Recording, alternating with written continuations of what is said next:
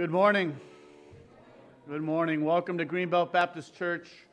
My name is Steve, and I'm a pastor here, and it is uh, it's my pleasure and privilege to not only welcome you to worship this morning, uh, but I get to also call us to worship.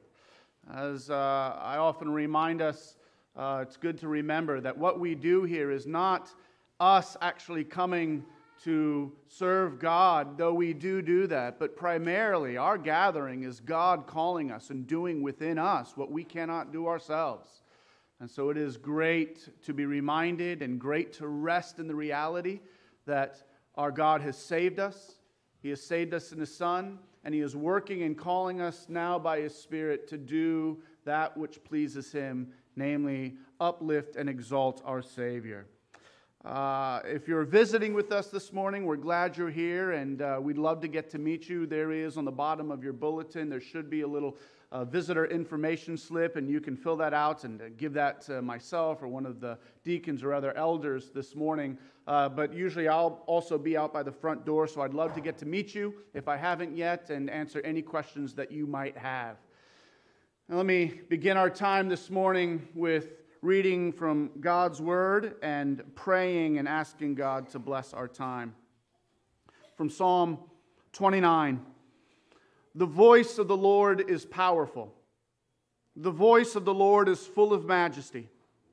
The voice of the Lord breaks the cedars. The voice of the Lord flashes forth flames of fire. The voice of the Lord shakes the wilderness. The Lord sits enthroned as king forever. All who gather in his temple shall cry, Glory. All you who hear the voice of the Lord, come now and worship the Son of Man, Jesus Christ, the Lord's anointed, the Word of God incarnate, our Savior. Let's pray. Our good and gracious God, we do thank you now for this time that you've given us. And we pray, Lord, that you would be pleased to not only equip us to worship you rightly, Lord, humble us so that we might be better fit to worship you in lowliness. But Lord, encourage us now. Encourage us in Christ and lift us up, as it were, to the right hand of our Savior, to the right hand of you, our Father. And as we worship you here on earth, may it be as if we were in heaven. We pray in Jesus' name. Amen.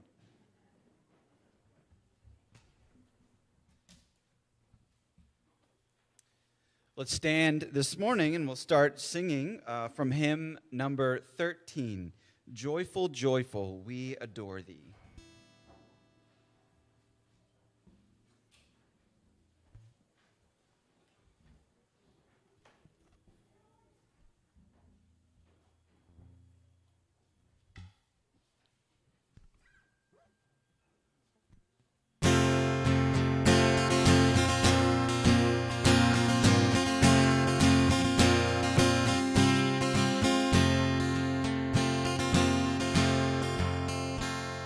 Joyful, joyful,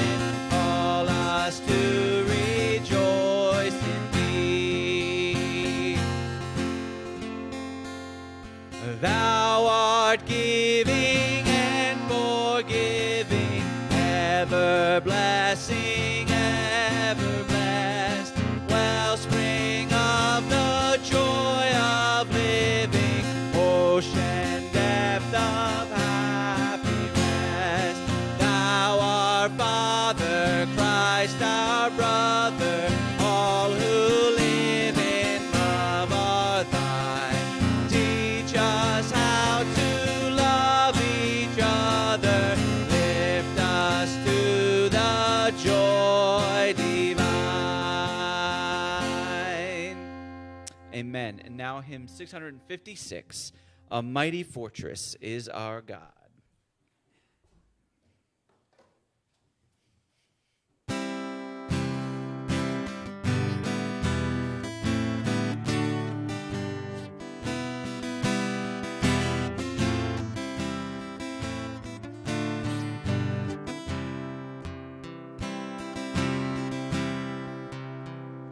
Oh.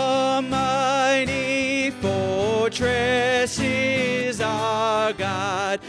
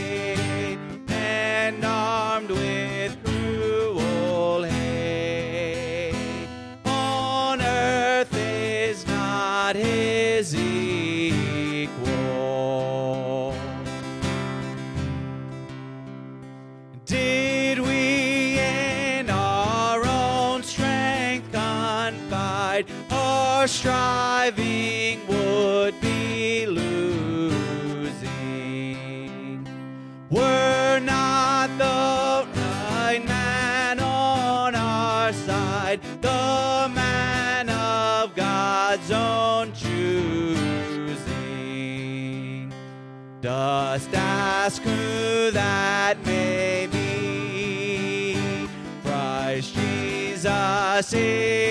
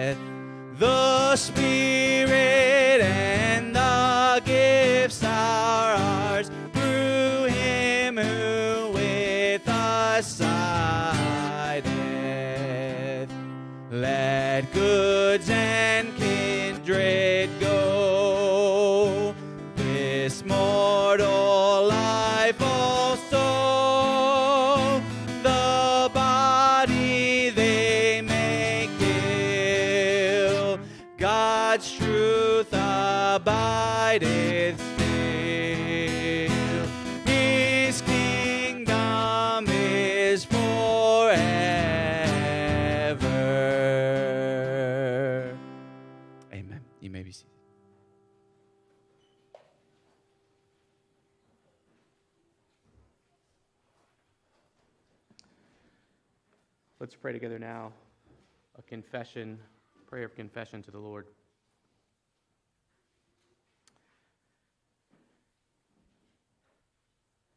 Heavenly Father,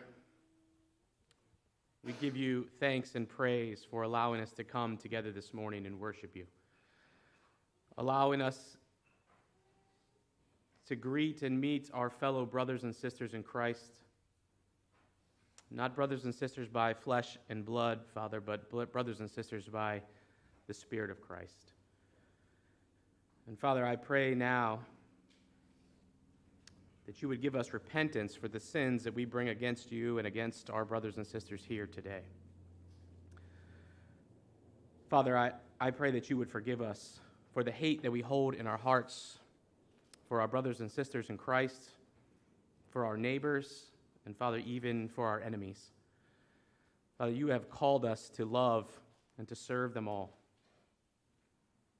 Father, forgive us for not doing so. Father, forgive us for not even joining in regular prayer for our brothers and sisters in Christ, for not lifting them up to you and seeking their betterment. Father, we get into our busy routine and we don't think twice about those brothers and sisters who you brought here with us today to worship you. So, Father, I just pray that you would continue to conform our hearts, to give us a desire to love and serve how you've called us to. Father, I also pray that you would give us repentant hearts for the way that we waste our time and we seek to entertain ourselves, to distract ourselves from our spiritual need for you. Father, we are much more likely to continue to scroll through our phone or turn on the television to pick up your word and to read it Father, I confess this myself and for our church. Father, I pray that you would continue to change our hearts to desire to be fed by your living and active word. You have given us something we can open on our bookshelf and hear you speak to us directly today. You have not left us in the dark. You have not left us without knowing who you are. So, Father, I just pray you continue to increase the desire of our heart to hear from our living God. Father, I praise you and thank you this morning as well for this church, that the word is preached here, that we can freely gather together and hear it without any real fear of persecution. And I think of our other brothers and sisters around the world who fear every time they gather that they might be imprisoned, that they might be hurt, persecuted, physically assaulted for gathering in your name. Father, we praise you and thank you for just the blessing that it is to be able to come together, sing your praises, hear your word preached, and even pray together. Father, as we prepare to take the communion supper together, I ask that you just continue to open our eyes. Father, that we would remember that not only do we take this bread and cup in remembrance of you, as a grace to our heart to remind us of what our Savior Jesus Christ did on the cross, but we also do it in proclamation to the world that we, your people, know that you have died on the cross for our sins and we await your return. Father, we pray all these things in Christ's name. Amen. As we prepare to take communion now, I'd like to ask a few of the deacons to come forward and help serve communion this morning. If you are visiting with us this morning, we are glad you are here. But if you're not a believer, if you have not given and put your trust in Jesus Christ as your Savior, we would ask that when the communion come around, you would just allow it to pass by, as it has no bearing on you.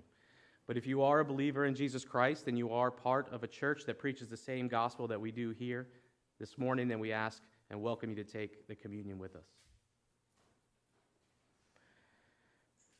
I'm going to read now for us Paul's description of the Lord's Supper from 1 Corinthians. The Lord Jesus, on the night when he was betrayed, took bread, and when he had given thanks, he broke it and said, This is my body, which is for you. Do this in remembrance of me. In the same way, also, he took the cup after supper, saying, This cup is the new covenant in my blood. Do this as often as you drink it in remembrance of me. For as often as you eat this bread and drink this cup, you proclaim the Lord's death until he comes. It's our tradition when the bread and the cup come around that when you receive it, you can eat the bread um, when you receive it as a symbol of your individual unity with Christ, and then hold the cup, and we're going to drink all together to as a symbol of our uh, unity as one body in Christ.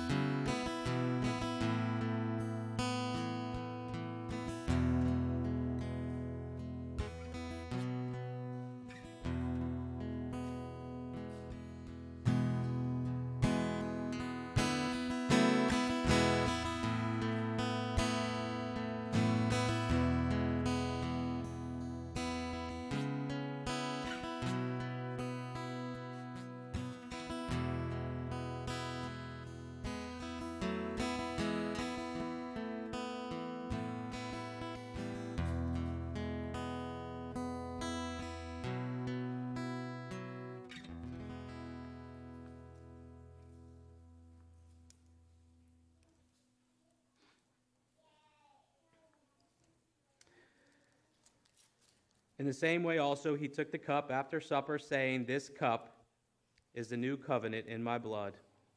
Do this as often as you drink it in remembrance of me.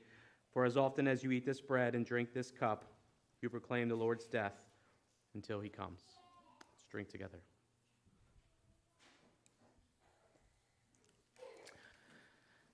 Heavenly Father, we thank you for the grace that it is to be reminded of our Savior's death and resurrection by the taking of this communion supper together. Father, I pray now for the rest of this worship service that, Father, by the preaching of your word and the singing together, that we would be sanctified, that we would be edified as one body, looking to our Savior for life, for reconciliation, for all the grace that you give us through our Savior Jesus Christ. We pray this in his name. Amen. And let's stand and sing together uh, hymn number 400, Jesus at Your Holy Table. It's a hymn about what we've just done together. Uh, participate together in communion.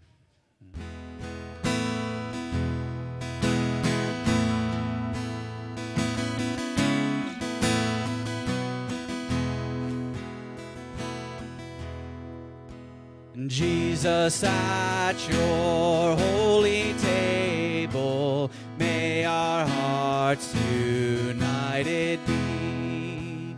Bind us with your grace and presence that redeem and set us free.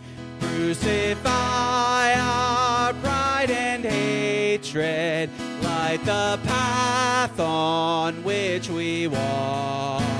Teach us how to love each other in the way that you have taught. Christ, remind us of your passion, of your precious life outpoured, of the love which none can fathom, and our victory evermore. Bread of heaven, wine of promise, feed us with your holy word. Nourish us with your strong presence, risen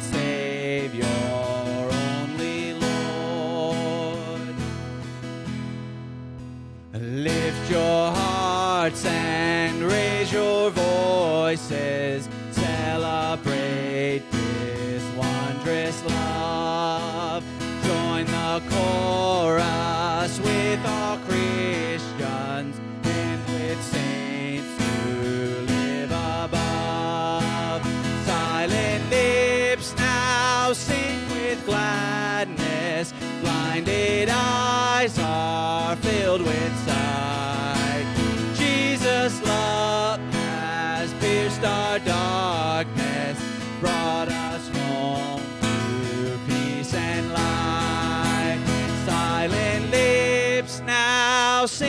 With gladness. Blinded eyes are filled with sight. Jesus' love has pierced our darkness, brought us home to peace and light. Amen. You may be seated.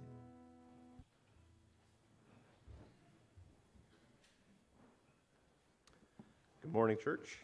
Our scripture reading this morning is Ephesians 2, verses 1 through 6, which will be on the screens behind me. That's Ephesians 2, 1 through 6. Hear the word of the Lord. And you were dead in the trespasses and sins in which you once walked following the course of this world, following the prince of the power of the air, the spirit that is now at work in the sons of disobedience, among whom we all once lived in the passions of our flesh, carrying out the desires of the body and the mind, and were by nature children of wrath, like the rest of mankind. But God, being rich in mercy, because of the great love with which He loved us, even when we were dead in our trespasses, made us alive together with Christ. By grace you have been saved, and raised us up with him, and seated us with him in the heavenly places in Christ Jesus. This is the word of the Lord. Let's pray. Our merciful heavenly Father, we come now on our knees before you. You who are perfect in your judgment, you do not pervert justice, and yet the mystery of your will, the plan that you set forth for fullness of time to rescue sinners in Christ, that is why we come to you now, Lord.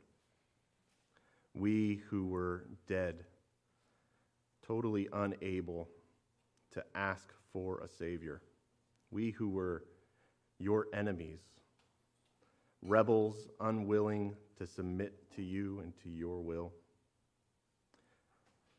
We who were fully submitted to the adversary, even Satan himself. We were passionately chasing after our sins and approving of the sins of others. How could you, a righteous God, love a wretch like me? But you, O God, you who whose mercy does not run out, whose grace is never spent. You made us alive in Christ. You put flesh on our dry bones so that we can sing your praise. You turned rebel, rebel soldiers into loyal subjects who look more like our king with each passing year. We who were trying to tear down the walls of your kingdom you have now reworked into servants building the heavenly city. Father, we praise you for your will and your mysterious plan is far above our earthly wisdom. Lord, we praise you for the ways that you are building your city here in the midst of this area.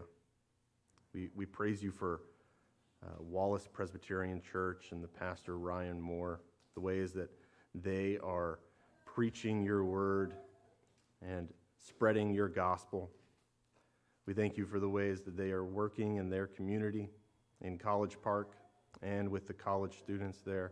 We ask that you would cause them to flourish, that you would cause them to draw many to yourself.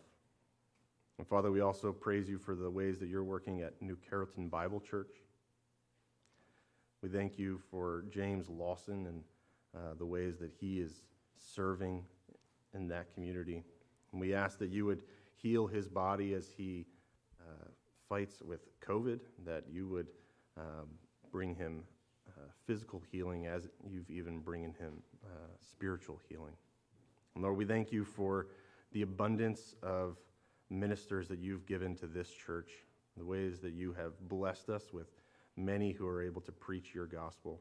And we thank you for Will Mori Ramos and uh, the, the heart that he has to, to hear your word uh, and to spread it abroad. We ask that you would bless his preaching this morning at New Carrollton Bible, that uh, you would use his preaching mightily, that your word would go forth, and that many would be um, called back from their rebellion against you. Father, we also pray that you would build your kingdom abroad. We, we pray for those in Ukraine. We ask that you would protect your people, that you would uh, redeem your remnant there, that you would give wisdom to President Zelensky and to the other leaders, that they would uh, know peace, that they would know the Prince of Peace, you who break the bow and shatter the spear. You burn the chariots with fire. You are the one who brings peace. And we ask that your peace would be known here on earth as it is in heaven. Come, Lord Jesus. Father, we ask that you would prepare our hearts now to hear your word and to be changed by your word. That we would not be hearers only, but that we would be doers. And that you would uh, preach to us through Steve, and that we would glorify our Father in heaven. It's in the name of Christ we pray. Amen. Let's stand and sing together hymn 448 Before the Throne of God Above.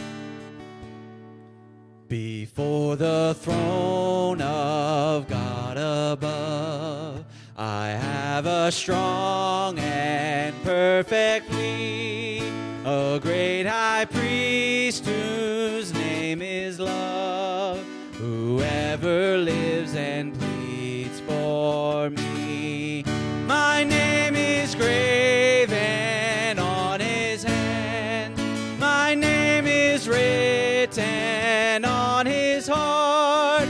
I know that while in heaven he stands, no tongue can bid me thence depart. No tongue can bid me thence depart.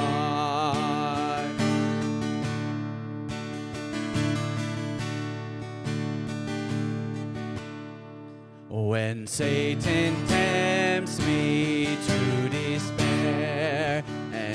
tells me of the guilt within, upward I look and see him there who made an end of all my sin.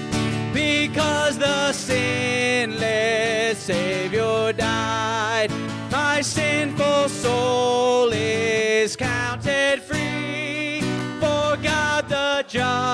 is satisfied to look on him and pardon me. To look on him and pardon me.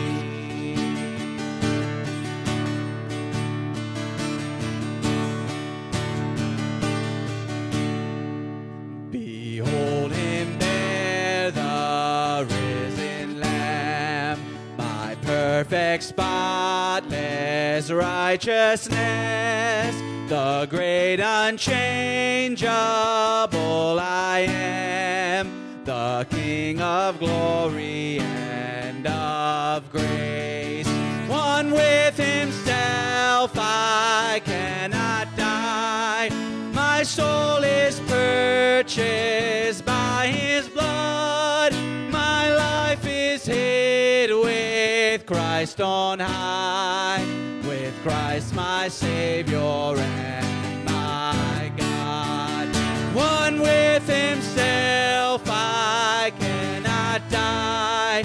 My soul is purchased by his blood. My life is hid with Christ on high, with Christ my Savior and my God, with Christ my Savior and my God. Amen. You may be seated.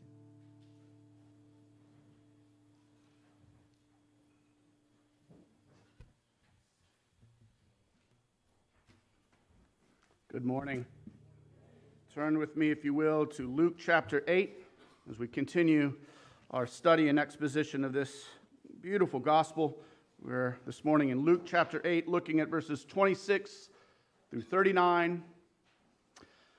Last week, we looked uh, in chapter 8 at verses um, 22 through 25.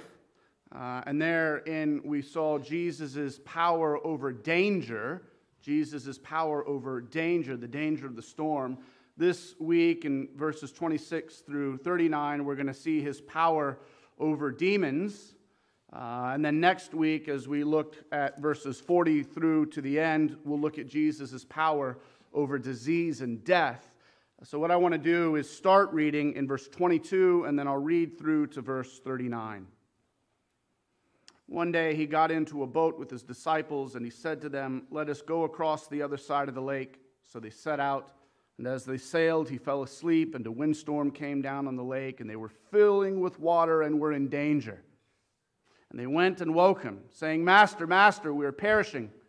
And he awoke, rebuked the wind and the raging waves, and they ceased, and there was calm. He said to them, Where is your faith? And they were afraid. And they marveled, saying to one another, Who then is this that he commands even winds and water, and they obey him? Then they sailed to the country of the Gerasenes, which is opposite Galilee.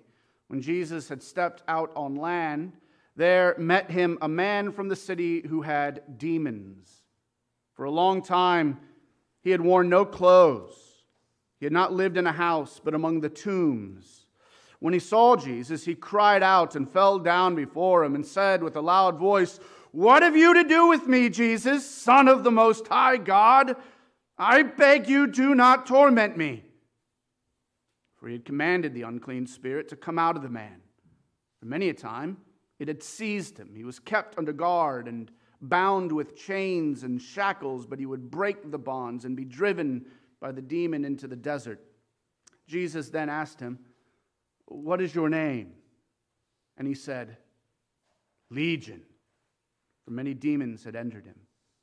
And they begged him not to command them to depart into the abyss. Now, a large herd of pigs were feeding there on the hillside, and they begged him to let them enter these, so he gave them permission. Then the demons came out of the man and entered the pigs, and the herd rushed down the steep bank into the lake and drowned. When the herdsmen saw what had happened, they fled and told it in the city and in the country. Then people went out to see what had happened, and they came to Jesus and found the man from whom the demons had gone sitting at the feet of Jesus, clothed and in his right mind. and they were afraid. And those who had seen it told them how the demon possessed man had been healed. Then all the people of the surrounding country of the Gerasenes asked him to depart from them, for they were seized with great fear. So he got into the boat and returned.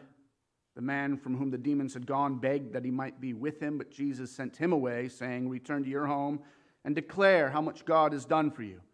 And he went away, proclaiming throughout the whole city how much Jesus had done for him.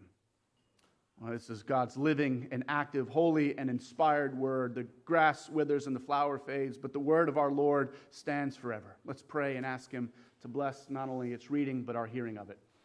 Father, we thank you. Oh, God, your word is so clear. We admit it's exciting.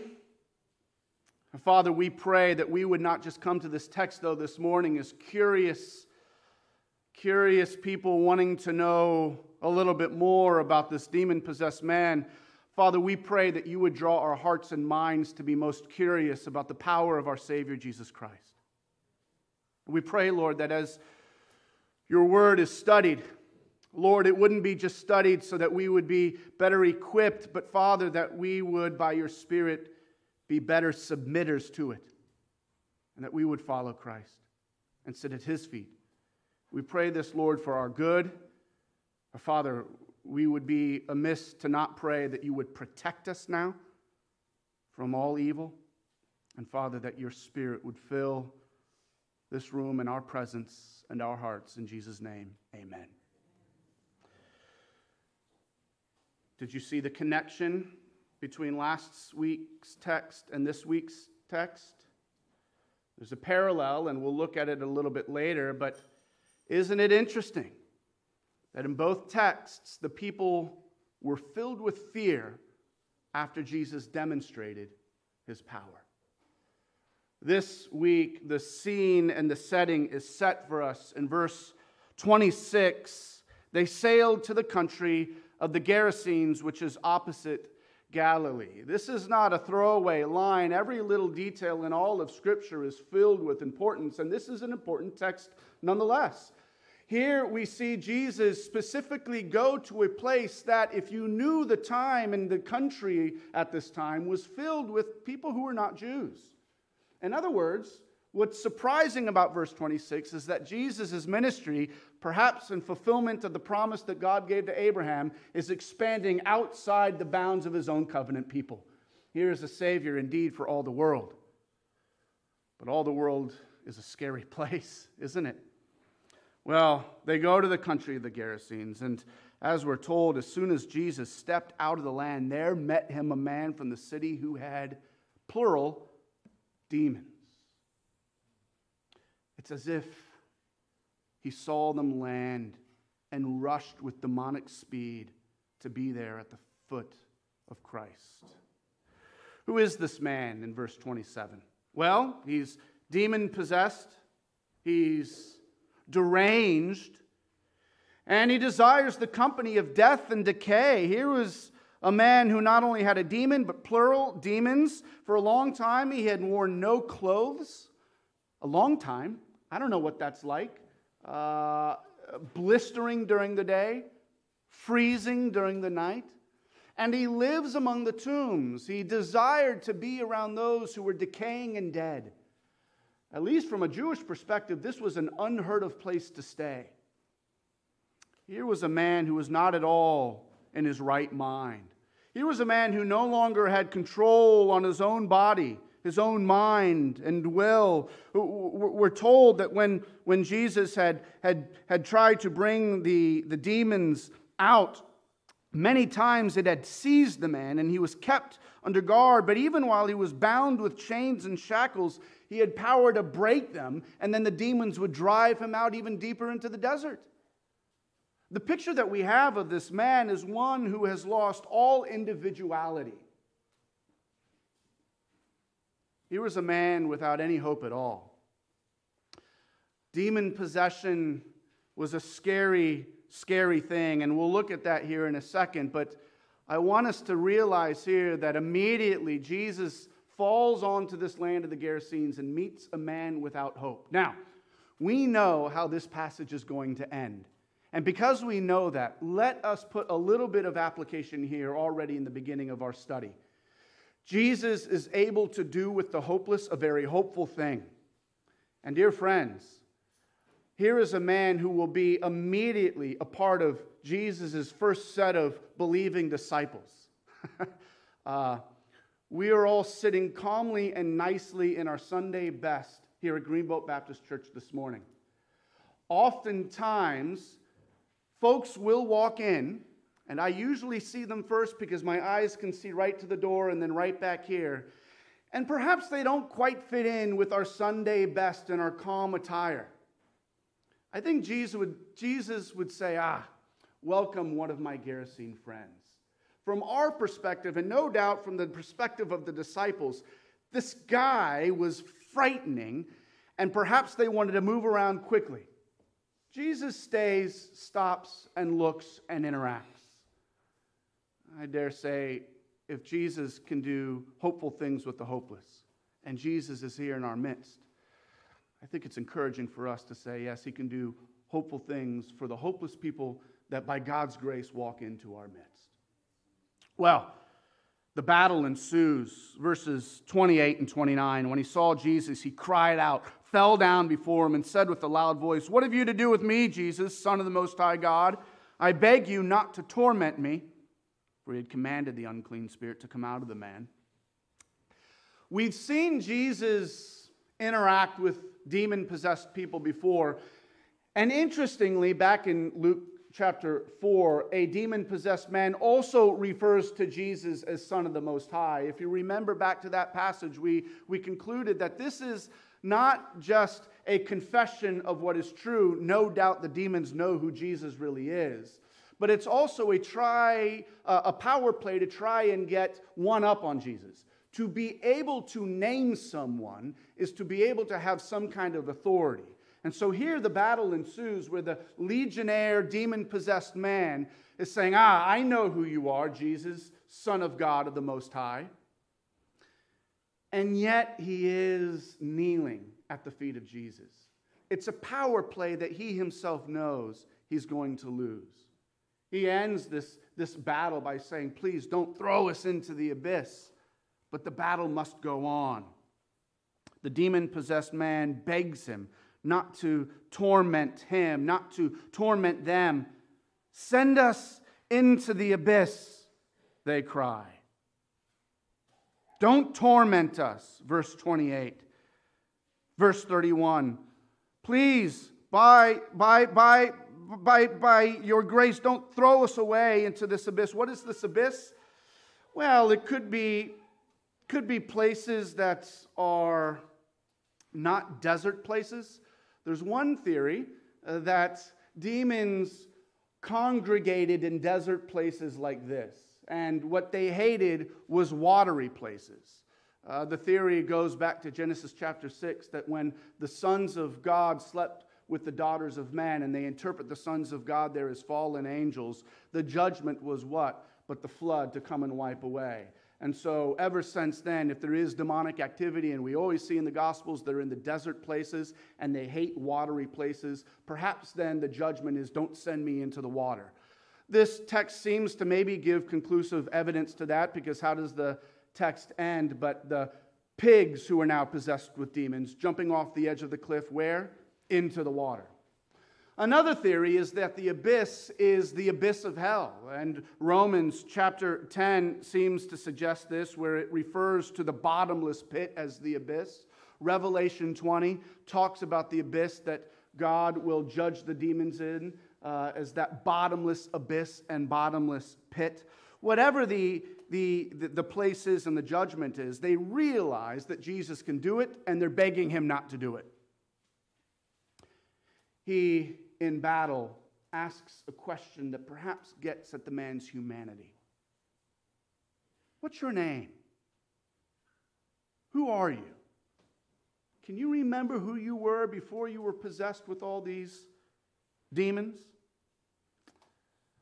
Still, though, under the control, the singular response is terrifying Legion. Now, if we know our Roman history, A legion was that largest component of the Roman army, usually composed of upwards to 6,000 men. Now, whether this man was possessed by 6,000 demons or not, we're not sure. In Mark, we know that there were about 2,000 pigs. All we can say for sure is that he is possessed by thousands of demonic figures. No doubt the man is lost of all individuality. It makes sense then, doesn't it, that he's been without clothes? That, as Matthew and Mark put it, he's been cutting himself with stones. He's been screaming in the middle of the night. And he lives away, separate from the rest of, of humane society, as an animal among the dead and as a dead man still living. If there's anything close to the reality that we would say is the walking dead, herein is that reality. What are demons? Well, demons are, properly speaking, fallen angels who, in their rebellion against God, were cast down out of heaven, and now, in continued battle against God, do so by battling those made in the image of God. Demons are powerful beings who were, in their created purposes, meant to do nothing but worship God in resplendent glory. Fiery beings with wings that flew and wings that covered their eyes and feet, and could, in their spiritual nature, get around immediately and do wonderful things that we, in our limited human capacity, could not even imagine. And yet, now, in their fallen depravity, their sole desire is to do all harm to God and God's people. Demonic activity seemed to be most prevalent around the time of Christ. It's not clear as you read through Scripture that demonic activity is always at a, a, a, fever pitch. You, you, you, you see spikes in it at, at, at intense moments in redemptive history, right before the flood, and again here, right before the redemption that is Christ. Many commentators think that what's going on here, and, and again, you get this with Genesis 6, is a kind of mockery of incarnation. So that in Genesis 6, knowing that a Messiah would come through the seed of the woman, Genesis 3. Well, perhaps we too can create a seed of the woman by sons of God sleeping with the daughters of men and therein incarnate some kind of anti incarnation against the coming Messiah. Ah, he's come, Luke chapter 1 and 2. Perhaps now is our time to incarnate, as it were, possess men and women in order to raise up some kind of uh, antithesis against the incarnation of the Son of God. We can't be sure. Nonetheless, here is demonic activity at its worst. Now, there are usually two errors that we, as readers of the text, will come away with uh, when we read passages like this. The first error is to go to one extreme, and that is our kind of modern post Enlightenment American extreme, and to minimize or deny any existence of demonic activity altogether. Uh, this is a nice story of someone wrestling with his inner turmoils. There is no such thing as demons, there's just our inner angst and worries and, and our addictions to the things of this world. Many people believe that, and many so called Christians believe that. But, dear friends, that is one error that we must not fall into. Demons are real, fallen angels are a clear fact of Scripture, and uh, we do not want to fall into this post enlightenment idea. Indeed, I dare say it is Satan's idea. Nothing would make Satan happier for us to believe the lie that he doesn't exist. Because when we think he doesn't exist, therein he can do the most damage. But the other error and the other danger is to go all the way to the other extreme and to maximize or exaggerate the importance of demons so that every sin or every problem is because of Satan and demons. Dear friends, can I just remind us that our hearts are entirely depraved on their own and we don't need Satan in order to be as bad as we are? When the computer crashes, or you're stuck in traffic, it's not Satan, it's just the computer crashing. And, uh, and you being angry on the beltway has more to say about your heart than anything else. And yet, nonetheless, a balanced view would say what? Satan and his demonic forces are real. We sang it this morning. For still our ancient foe doth seek to work us woe. His craft and power are great, and aimed with cruel hate. On earth is not his equal. That's quite literally true. On earth, there is no equal to the power that is Satan. And he still wreaks havoc.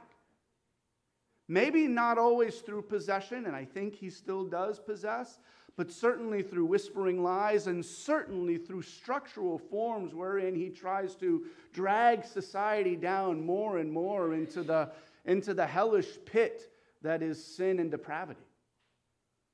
I know of good Christian friends who grew up in places like Haiti who would say, you know, in Haiti, we fall into the extreme of, of seeing Satan everywhere. Uh, but, Steve, uh, I have seen Satan in Haiti. And uh, things that happen with voodoo is not fake. And so don't play around and don't fall into the mistake that thinking that Satan's not there at all. He is. And it's powerful and it's scary. But, dear friends, the balanced view always has Christ at the center. Uh, we're reminded, aren't we, in Ephesians 6 12, we do not wrestle against flesh and blood, but against the rulers, against the authorities, against the cosmic powers over this present darkness, against the spiritual forces of evil in the heavenly places. And yet we can battle because we have a warrior king who does what he does here. Now, again, outside the faith that we have in Jesus Christ, I'd, I'd want to remind many of us here that without Christ, we are just as dire a position as this man, this legion man, is here. Phil Ryken comments that this is what sin does to us all. Even if our own situation seems less extreme, the Bible tells us that the sinful mind is hostile to God. It describes all people as dead in trespasses and sins. It says that apart from a saving relationship with Christ, we are alienated and hostile in mind. Worst of all, we cannot save ourselves. On the contrary, we are utterly indisposed, disabled, and made opposite to all that is spiritually good. Why? 2 Corinthians 4 4. The God of this world, that is Satan, has blinded the minds of the unbelievers to keep them from seeing the light of the gospel of the glory of Christ. Satan is powerful and real. And yet, this passage is here to tell us more about Jesus Christ than it is the demons and Satan. What we see here is Jesus' saving power.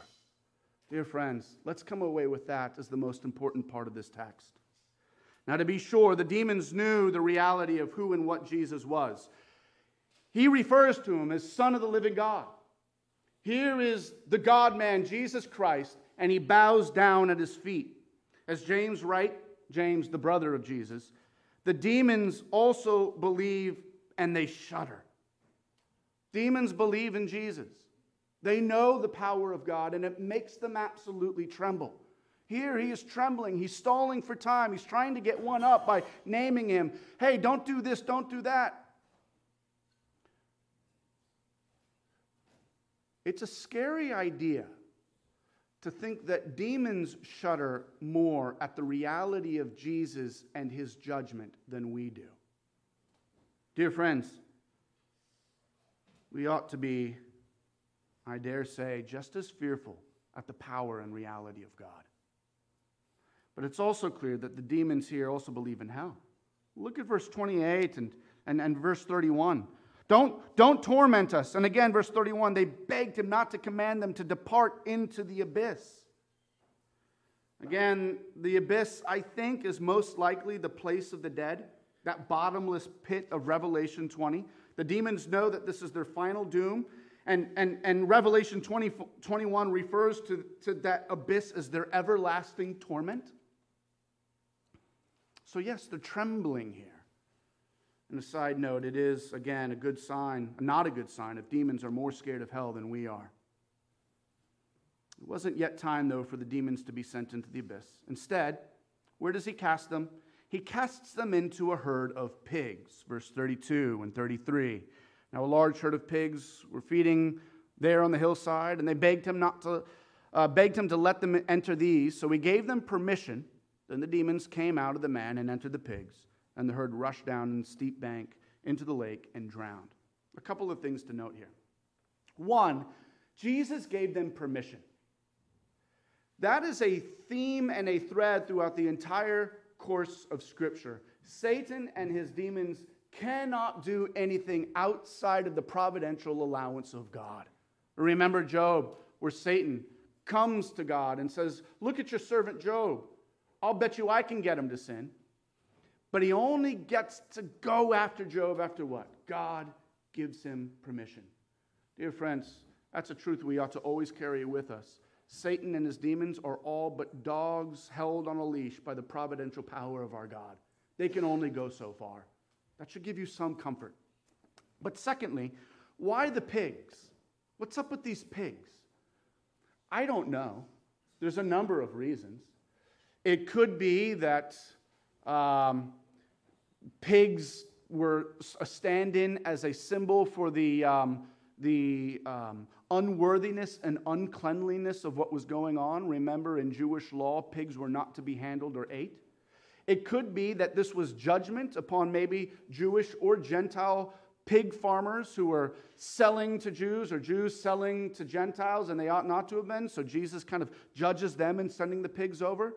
Maybe it's a, a testimony of um, uh, the, the, the, the, the pigs being itself an unclean destruction of what these demons are going to get in the final abyss as he sends them into the water. This is a foretaste of their final destruction in the abyss. I'm not sure what it is. I think at least we can say these pigs were created by God and here used by God for his judging glory. he knew exactly what he was going to do. And, um, and again, pigs are not made in the image and likeness of man. So uh, even if you send a check to PETA every week, it's okay. God's judgment here is good and right. But here's the more important thing this is Jesus not just showing his power over the spiritual realm, this is Jesus showing us that he is the coming king. He is conquering not just demons. Dear friends, the language of legion is important, a whole army of legions. Satan no doubt knew that the incarnation had happened. The spiritual warfare of the Gospels is ramped up to a level 10 that was just not present in the time just before Christ. And so all out attack is going towards Christ. Satan couldn't get him out in the wilderness. And so let's, let's throw at him this man full of 6,000 demons. Let's see what that does to him. And our warrior king comes and he does battle and he wins. He sends them into the pigs and the pigs drown. Herein is the beautiful scene where we see the liberation of this man. Look at verse 34 and following. When the herdsmen saw what had happened, they fled and told it in the city and in the country. Then people went out to see what had happened, and they came to Jesus and found the man from whom the demons had gone out sitting at the feet of Jesus, clothed and in his right mind. Oh, dear friends, here's the saving power of Jesus true liberation, wholeness of the man, final peace, spiritual healing and, and did you notice a desire to sit at the feet of Jesus and be with him? That's the power of Christ. In the most hopeless of men, we have the most assuring and comforting hope in this picture. Now, what's the response of the watching world? Look at the end of verse 35. And they were afraid. And those who had seen it told them how the demon possessed man had been healed. Then all the people of the surrounding country, of the Gerasenes, asked them to depart from them, for they were seized with great fear. Friends, they were afraid. They were seized with fear. Twice, Luke tells us of their response. There's a parallel here. Last week, as we've already noted, we saw the disciples afraid of Jesus' power of the storm. And here we see the townspeople afraid of Jesus' power over demons. But the irony is that the fear we see here is not one grounded in faith. For the disciples, they were afraid, but kept sticking with Jesus. They didn't want to go anywhere else. Here, the fear moves the people to push Jesus away. Many commentators make it an issue of economics. Ah, they were just upset that he did away with their cash crop of sending all the pigs into the sea. I don't, I don't think that's it. I think Luke would have said that they were angry at what he did with the pigs, but instead he says they're afraid, they're seized with fear. I think they realized that Jesus had extraordinary power to change people. Even the most hopelessly lost and spiritually dead of people, like this demoniac. No one else could change this man. Shoot, they couldn't even get control of him. The, the, the, text says that they had to bind him with chains, but he broke the chains and had the strength of many men in just one body. No one could get a handle on this guy except Jesus. And I think they realized that if Jesus had that kind of power to change this kind of guy, they realized that, they would ha- that, the, that, that he had the power to do what he wanted with them as well. That scares people. Friends, I dare say that that still scares people. A lot of people know who Jesus is. They know that he's real. He know, they know that he's alive. They know that he's God and a Savior and that, and, and, and, and that, that, that he can do things in their life, and they still push him away because they're afraid that he can really change their life. You may not be possessed by demons, but a whole lot of people are certainly possessed by their desires for sin possessed by their addictions, possessed by their lust for power or for pleasure or for prosperity. And they know if, if I come to Jesus and Jesus has his way with me, if he lets forth his full power upon my heart and my life, everything will be different. Everything will change. And I'll no longer get to enjoy the pleasures and the little sins and the things of this world like I have been. And people are afraid of Jesus because they're much much too in love with this world. All the things of this world, the legion things of this world, thousands of little lusts that keep us preoccupied. That's a fear that pushes Jesus away. It's a fear that, like Gollum in The Lord of the Rings, desires the dehumanizing effect of that little power all pushing away the only hope in life that we can find in the King of Kings and the Lord of Lords. Do you know what the scariest verse in this whole passage is? It's not the legion of demons. It's not the man crying out naked in a tomb. No, no, no. The scariest verse in this entire passage is what we see at the end of verse 37. So he got into the boat and he returned. Dear friends, the worst judgment Jesus could ever inflict upon you is to leave you, to leave you in your own desires and wants, and to honor the request, your request, that you be left alone and not changed. Some of you may be right on that line right now. Continually, like flies, circling the stank of your sin. You know Christ can make you whole, can give you peace. But you also know that that requires some new habits in your life. That requires some, some new ways of living. You know that that requires putting away the decaying and, and death dragging sins that you so love. Will you push them away or will you not? Dear friends, if you're here right now and you've not yet come to Christ, I not only encourage you, but I, I call you by the power of God that has been granted to me as a minister of the gospel to repent now and put your faith in Jesus. Repent means to turn away, and to put your faith in means to fall and rest in love with Him who is your only Savior. And by hearing that and believing that, I promise you, Jesus will make you whole. It's so much more comforting outside of the graveyard of death in this world. And I know you think that whatever sin that is that has you, it would be the end of your world if you let that go. Perhaps letting it go means a little bit of humility and a little bit of light shining into the darkness of that graveyard and other people seeing who you really are. Other people bearing and opening up your heart so that you can show them the legion of little lusts that you have. And it does hurt at first. But I guarantee you, like this man here sitting at the feet of Jesus, you will never want to leave him again. Now, this leads us to the last and final irony of this entire passage, which is verses 38 and 39. The man from whom the demons had gone begged that he might be with him, but Jesus sent him away, saying, Return to your home and declare how much God has done for you. And he went away, proclaiming throughout the whole city how much Jesus had done for him. The unbelieving cities of the Gerasene region saw Jesus, were filled with fear, and pushed him away. And Jesus said, Okay. The demoniac who had been saved by Jesus said, Jesus, stay with me. And Jesus said, No, and pushed him away. And yet, what a blessing that was, not only to him, but dare I say, to the very people that pushed Jesus away in the first place. Here is nothing other than a great commission, the, the, the first seeds of, of a missionary work that would carry on through the book of Acts and is carrying on still now.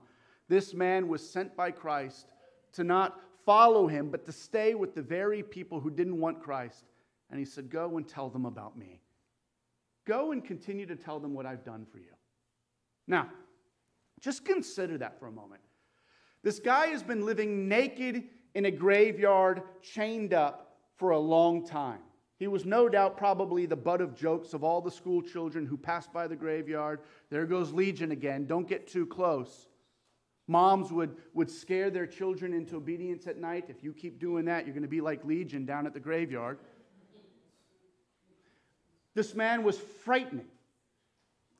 And now he strolls into town and maybe cozies up at the bar stool next to you at the, at the Gerasene pub.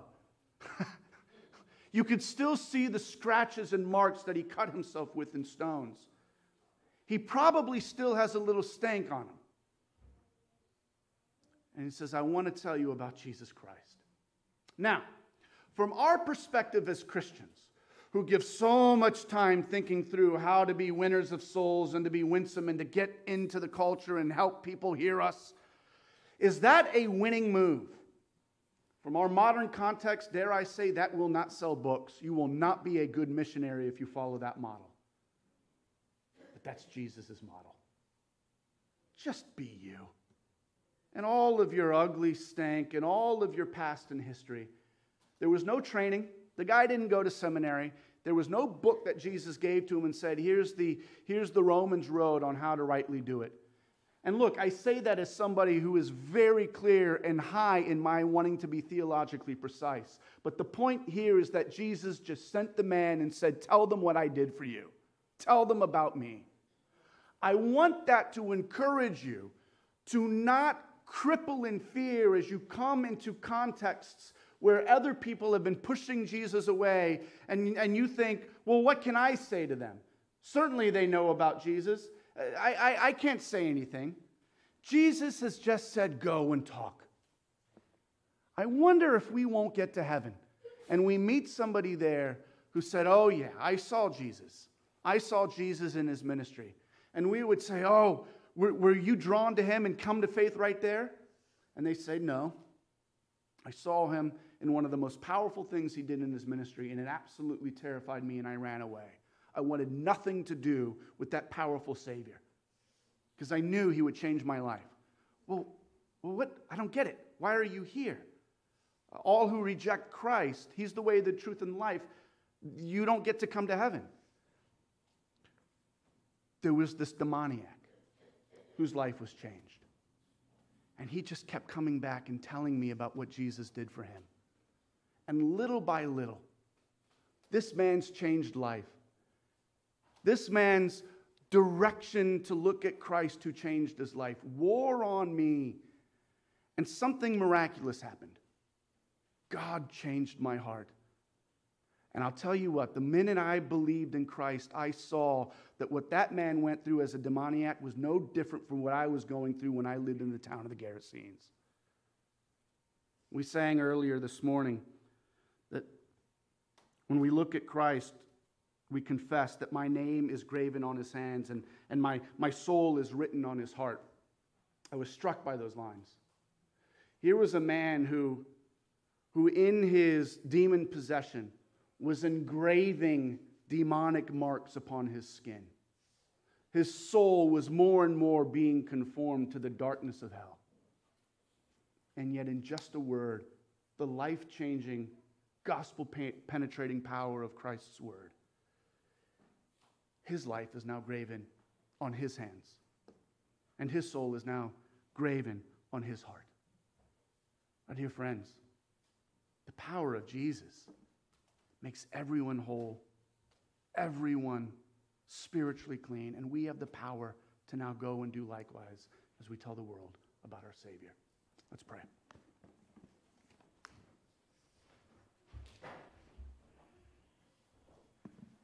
Let's pray together. Our Heavenly Father, we do look to and glory in our Savior Jesus Christ this morning. For, Father, we look at the filth and the stink and the wretchedness of our own hearts. We look at our, uh, the sins that so easily entangle us. Father, we look at perhaps who we once were, completely entrenched in this world, driven by the passions and lusts of our own hearts. Father, fulfilling every desire within us. Father, looking really no different than this man who we've seen this morning. And Father, so we have seen this morning of the power of Jesus Christ, the power to change a life, the power to conquer all of the powers of hell. Powers that, that, Father, we frankly do not think about very often, that we don't come in contact in a visible and tangible way very often in this country. Father, Satan doesn't come to us by fear and by uh, possession, usually in, in here in America, Lord, but oh, but Father, he comes with that still small voice whispering, using the power of temptation to draw our hearts and our minds away from Jesus Christ. Oh, Father, we acknowledge our need for Jesus Christ this morning, our need for his cleansing work within us, our need for his spirit poured out in us, conforming us, changing us into the image of Jesus Christ. Oh, for, Father, would you work within us this morning, this power? Would you remind us of who we are in Jesus Christ? And would you remind us of the gospel call? That that bears upon us to, to go forth and to teach others about what Jesus has done for us and his atoning death and resurrection on our behalf.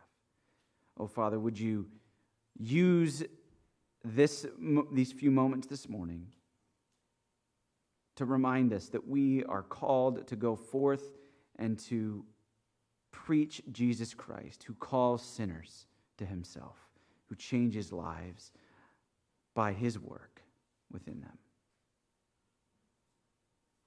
Father, we thank you for all that you do. And it's in Jesus' name we do pray this morning. Amen. Let's stand and sing from the songbook, Across the Lands.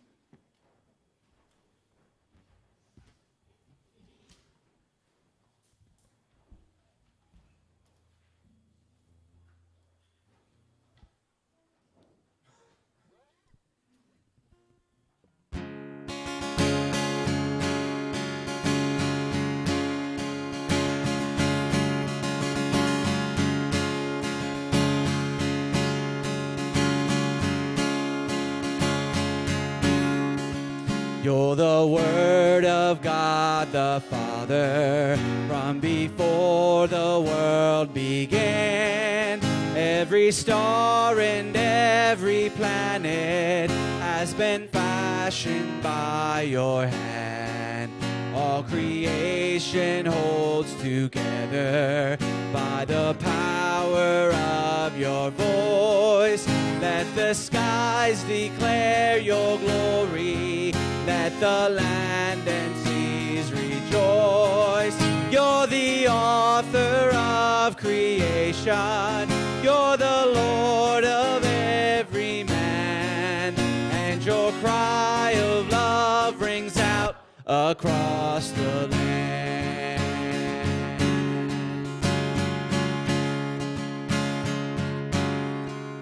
Yet you left the gaze of angels, came to seek and save the lost, and exchanged the glory of heaven for the anguish of a cross.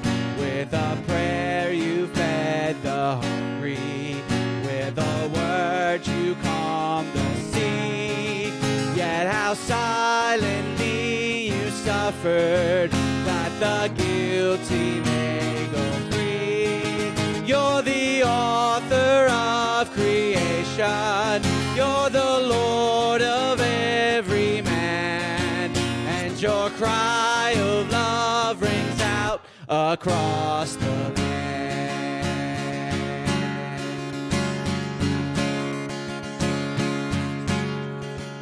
With a shout, you rose victorious, wrestling victory from the grave, and ascended into heaven, leading captives in your way.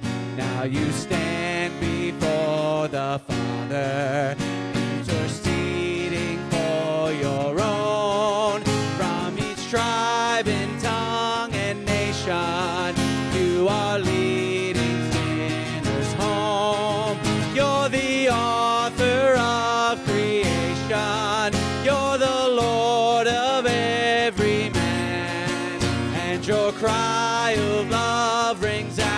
across the land. You're the author of creation. You're the Lord of every man. And your cry of love rings out across the land.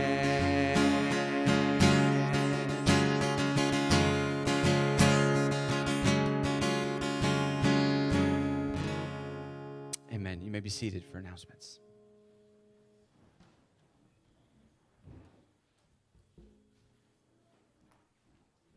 Our first announcement this morning uh, Matt Dobbins is going to come up and share with us about the, the CEF VBS coming up in two weeks.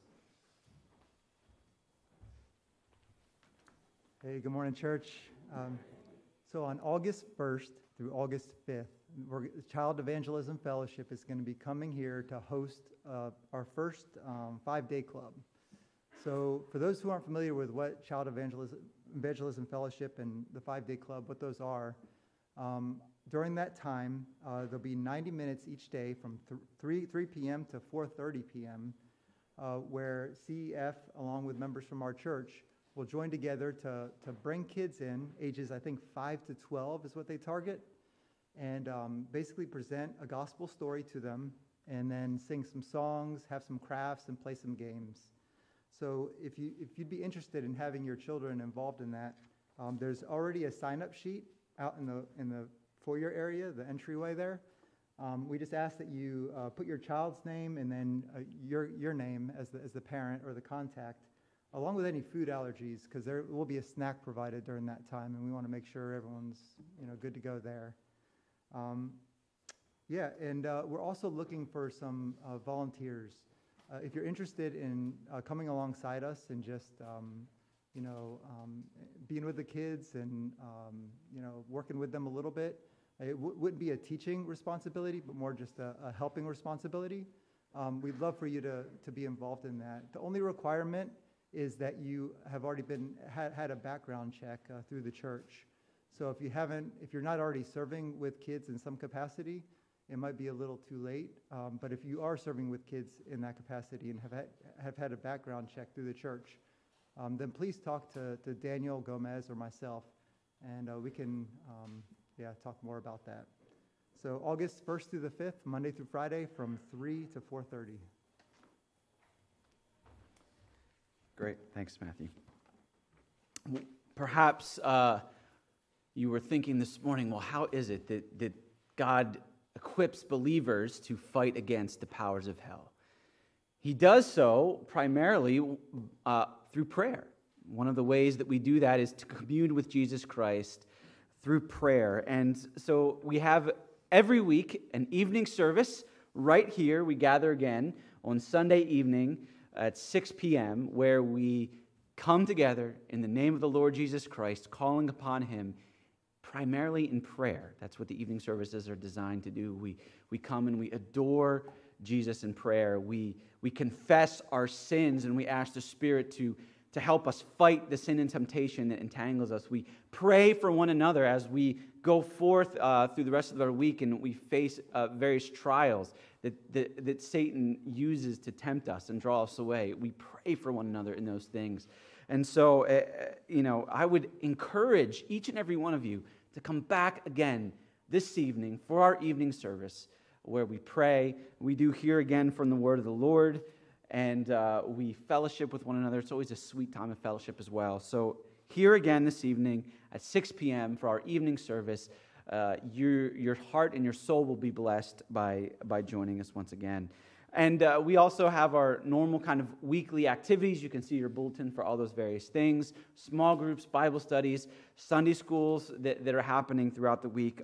Each of those things, again, designed to equip you and to edify you and build you up into the image of your Savior, Jesus Christ. Uh, a few things to mark on your calendars. Matt, Matt uh, already gave you one. Number two, next week, uh, after the morning service, we have our, pot, our quarterly potluck and business meeting. So uh, the potluck is for everyone. So if you're visiting with the first time this morning, uh, you can come again next week and share a meal, get to know the church. And uh, if you're a church member, uh, look for an email this week uh, that will do, give you some instructions about what to bring. But if you're a visitor, come and just enjoy some food and some fellowship. But after that, if you are a member, you will stay, you will stay, and, uh, and take part in the, the church's business. God has tasked the church to do his business. And so we want to do that. One of which we will be doing is v- voting on whether Philip Grove will be continuing on as an elder for the next three years. So uh, we, Steve and I, fully endorse him, and we love having him serve. And so, but we would encourage you to come out and vote uh, and talk to Phil, encourage him, or uh, talk to Steve or I if you have any concerns. But uh, we, we want to encourage you to do that. But there is a business meeting. We will, be, we will be doing the business of the church. So if you are a member, it is your business to be doing the business of the church. And so plan on staying after that. Finally, the, the last event to mark on your calendars is the Labor Day Festival. As we heard last week, and as we've been reminded, the Greenbelt Labor Day Festival is a kind of a big celebration, a big deal in the city of Greenbelt and surrounding areas. And it is a unique opportunity that we have as a church to, to be in the community and to share the gospel. Again, we were reminded this morning of the gospel imperative to tell others about what Jesus has done for you. And so we have a chance where we have a booth to tell other people about what Jesus has done for us. And so Eh, eh, there will be a sign up coming in the future, but mark it on your calendars all weekend Friday, Saturday, Sunday, and Monday we have a booth out there where we tell people about the gospel of Jesus Christ. So mark it on your calendars. Plan for at least one of those days, or perhaps a, eh, a few hours on a couple of those days, to spend time at the booth telling others about Jesus Christ. So I would encourage you to, to, to mark that on your calendars. Would you now stand as we receive this morning's benediction?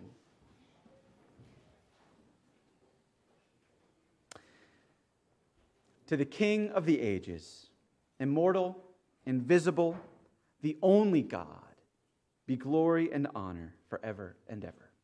Amen.